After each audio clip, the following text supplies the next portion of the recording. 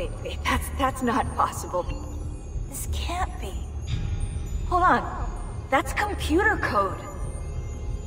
Let me compile it. Oh, shit, it's an encrypted file. Upload it to my computer. I'm a master at decryption.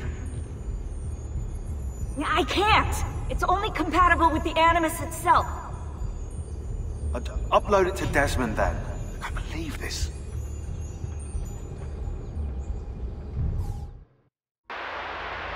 Hello, this is...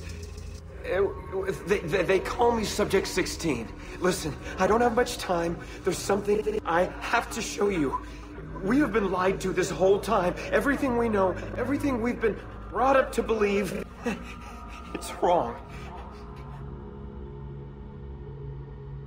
Okay, um, I've uploaded the evidence, the file that, that, that, that proves it all, but I've split it into 20 pieces and locked each with a code. Can't be too careful. Qu Queen Isabella. No, not her. Uh, uh, ugh, what century is it? Uh, never mind. I've hidden the code to the first file inside this program. Find it. Find them all.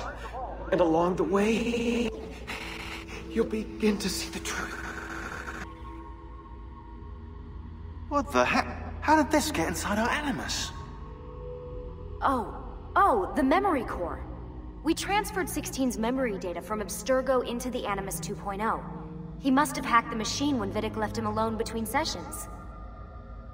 Oh, hold on, wait a second. The signs on the walls in Abstergo.